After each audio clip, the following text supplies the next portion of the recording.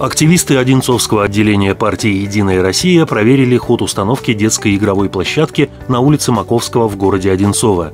Партийный мониторинг осуществляется в рамках реализации партийного проекта «Городская среда». Об этом сообщила председатель Совета депутатов Одинцовского округа, член партии «Единая Россия» Татьяна Одинцова.